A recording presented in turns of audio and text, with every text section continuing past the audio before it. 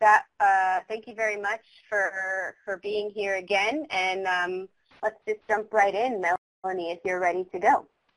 Mm-hmm. Yá'át'ééh, everyone.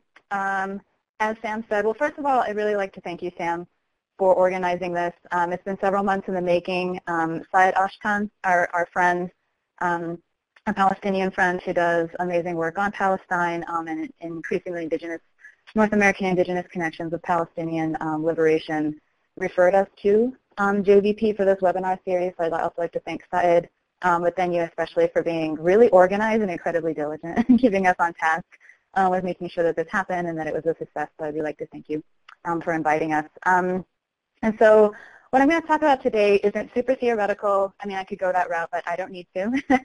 but I wanted to um, sort of let everybody know who I am, how I came to this work, um, and sort of through that narrative, uh, how I've come to like some very basic sort of tenets or pillars of how I approach Palestine solidarity work, while at the same time obviously being accountable